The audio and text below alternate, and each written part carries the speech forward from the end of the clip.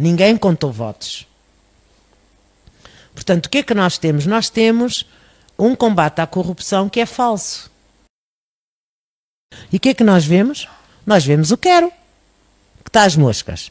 Nós vemos a, a Biocon, que só dá despesa. Porque aquela maquina, maquinaria que puseram na Biocon, eu assisti campos e campos de cana-de-açúcar da Biocon e não haver máquinas para colher. Isto logo no início. Porque as máquinas que importaram, segundo a pessoa, uma das pessoas que lá estava, com quem eu conversei, as máquinas importadas não funcionavam. Eles foram buscar lixo ao Brasil. A Odebrecht vendeu-nos lixo. E não funcionavam. Foi deitado abaixo milho que não foi colhido. Cana-de-açúcar que não foi colhida. É este o negócio que a PGR está a ir buscar? É este o negócio que a, direta, a tal direção de ativos ou de, de recuperação de ativos. Não, está, esta direção está a recuperar passivos. Não está a recuperar ativos. É por estes motivos hum, que nós temos que mesmo que sair à rua. Nós temos que exercer o nosso direito de cidadania. Não podemos ficar sentados em casa enquanto meia dúzia de, de nossos concidadãos se lambuzam no dinheiro do erário. O dinheiro do erário tem que voltar. Eu ouvi uma vez, uh, já não me lembro quem foi na televisão, mas depois posso ir ver, uh, a falar-nos de que havia desavindos do país mais de 300 mil, mil milhões de dólares. 300 mil milhões de dólares que durante estes anos cá para trás saíram. Né? Eu faço uma pergunta. Estão a combater e a receber estas empresas? Hum? Quando é que o Sr. Presidente da República nos vai vir dizer que e se ele beneficiou desta acumulação primitiva de capitais?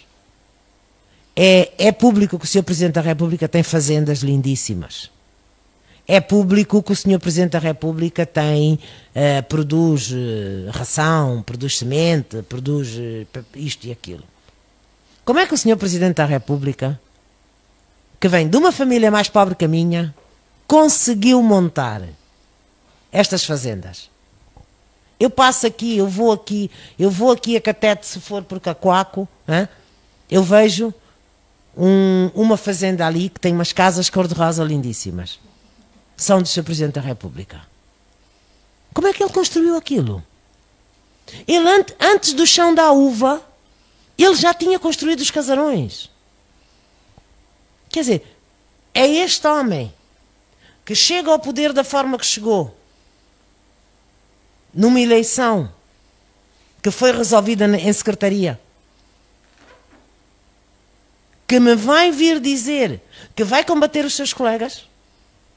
O nome do Presidente da República, do atual Presidente da República, está apontado no Lava Jato, tanto como o nome do outro. Estamos a falar mal, mal do outro porquê? Toda a gente fala mal do José Eduardo Santos. Porquê? Se o atual Presidente da República está com o nome no Lava Jato tão, tão como este. Foi citado como recebedor de 50, de 50 milhões de dólares. Está escrito. A pessoa falou. Não sou eu que o digo.